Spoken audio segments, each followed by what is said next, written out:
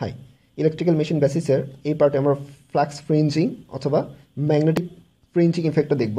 খুব সিম্পল একটা জিনিস এবং ট্রান্সফর্মারের এর কাজ আছে। এই ফ্রিঞ্জিং ইফেক্টের অবশ্যই কাজ আছে, আমরা দেখব অবশ্যই পরবর্তীতে। তো প্রথমে আমরা এই ফ্রিঞ্জিং ইফেক্টটা বুঝে নিই, জিনিসটা আসলে কী? তো প্রথমে আমি এখানে একটা সিম্পল সার্কিট ড্র করতেছি।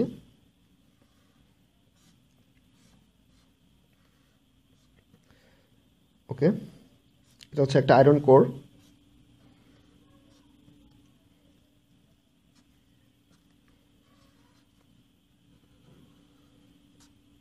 ওকে আর এখানে আমরা কয়েল প্যাঁচাই দিলাম। এদিক দিয়ে আমাদের একটা অল্টারনেটিং কারেন্ট আসতেছে।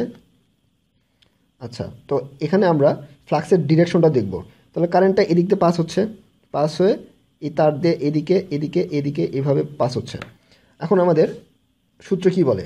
এই এই ডিরেকশন এই আঙ্গুলগুলো ডিরেকশন শো করবে হচ্ছে আমাদের কারেন্টের ডিরেকশন তাহলে কারেন্টটা এদিক যাচ্ছে, তাহলে ফ্লাক্স কী হবে? উপরের দিকে হবে মানে ফ্লাক্সটা কারেন্টের ডিরেকশন যদি এদিক হয়, তাহলে এভাবে আমরা পেঁচাবো এবং এই থামটা নির্দেশ করবে হচ্ছে আমাদের ফ্লাক্স ডিরেকশন করবে হচ্ছে, এই থামটা ডিরেকশন করবে হচ্ছে আমাদের ফ্লাক্সের ডিরেকশন তাহলে ফ্লাক্সটা কী হবে? উপরে দিয়ে, এদিক দিয়ে কোরের মধ্যে দিয়ে পাস হবে। এবং কেন কোরের মধ্যে দিয়ে পাস হবে সেটা আমরা আগের ভিডিওতে দেখছি। তাহলে ম্যাক্সিমাম ফ্লাক্সটা এই কোরের মধ্যে দিয়ে এদিক দিয়ে পাস হতে থাকবে। ফাইটি এদিক দিয়ে পাস হতে থাকবে পাস হয়ে এদিক দিয়ে আবার পাস হবে। তার মানে এই পাশে যদি আমরা একটা কল রাখি, সেখানে আমরা এই ফ্লাক্সটা লিঙ্ক করবে।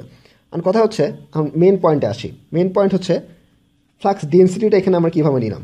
ঠিক আছে? আচ্ছা।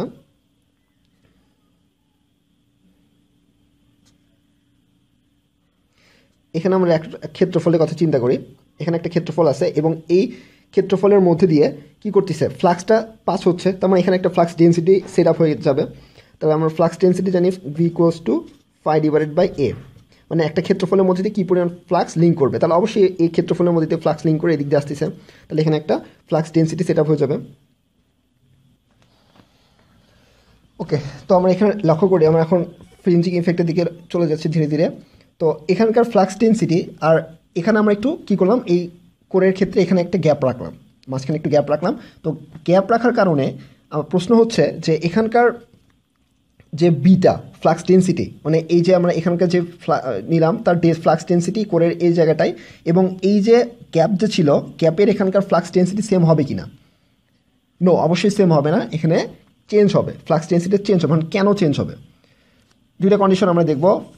প্রথম কন্ডিশন হচ্ছে যে এখানকার যে ফিল্ড লাইন ছিল এখান থেকে যে ফিল্ডগুলো উৎপন্ন হয়ে ফ্লাগ এই কোরের মধ্যে দিয়ে পাস হচ্ছে, তা এখানকার কোরের মধ্যেকার ফিল্ড লাইন এবং এই যে বাতাসের মধ্যে দিয়ে বাইরের মধ্যে যে ফিল্ডগুলো ক্রস করে এই পাশে আসবে, তাদের ফিল্ড লাইন কি সমান হবে কি না হ্যাঁ অবশ্যই তাদের ফিল্ড লাইন সমান হবে। ঠিক আছে? তার মানে এখানকার বাতাসের মধ্যে দিয়ে যেভাবেই যাক, কিন্তু সেম পরিমাণ ফিল্ড লাইনই এই দিক দিয়ে ক্রস করে এই দিক দিয়ে কোরের মধ্যে দিয়ে পাস করবে।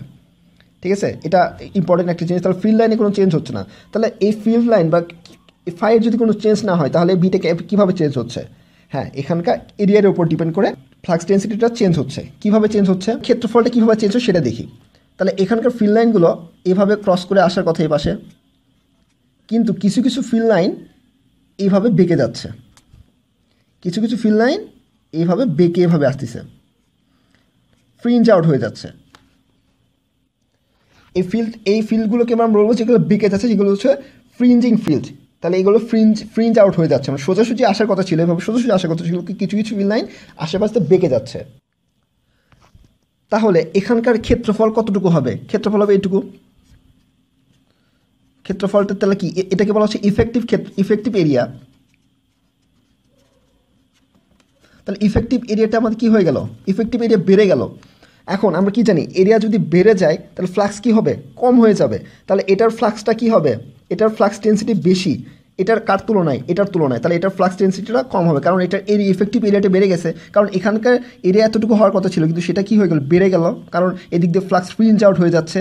ফ্রিঞ্জ আউট হওয়ার কারণে এরিয়াটা বেড়ে গেল। তার মানে এখানকার এখানে ফ্রিঞ্জিং ইফেক্ট কাজ করতেছে। যদি আমরা এরিয়াটা এরকম ক্ষেত্রফল রাখি, তাহলে সেখানে ফ্রিঞ্জিং ইফেক্টের কারণে এখানকার ফ্লাক্স ডেন্সিটিটা কি দিল? কমে দিল। তাহলে এটার ফ্লাক্স ডেন্সিটি এটা যদি ওয়ান প্রাইম ধরি, এটা যদি বি ডাবল প্রাইম ধরি, তাহলে B prime greater than B double prime তাহলে কোনো ট্রান্সফর্মার মধ্যে যদি এরকম ফাঁকা থাকে, তাহলে বুঝতে হবে সেখানে ফ্রিঞ্জিং ইফেক্ট কাজ করবে। তার মানে কোনো জায়গায় যদি আমরা দেখি যে এই ফ্লাক্স ডেন্সিটিটা চেঞ্জ হয়ে গেছে, তাহলে বুঝতে হবে সেখানে ফ্রিঞ্জিং ইফেক্টে কাজ করতেছে।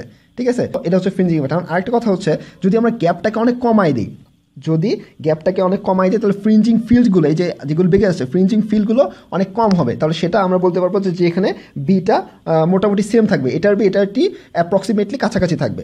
সো আমরা যদি এই ফাঁকাটাকে অনেক কমাই দিই, তাহলে আমরা বিটাকে সেম রাখতে পারব। কিন্তু একটু বেশি করে দিলে, যদি একটু বেশি হয়ে যায়, তাহলে সেখানে ফ্রিঞ্জিং ইফেক্টটা থাকবে এবং তার কারণে আমাদের ফ্লাক্স ডেন্সিটিটা সমান হবে না। ওকে নেক্সট ভিডিওতে আমরা অন্য টপিক নিয়ে আলোচনা করব। Thank you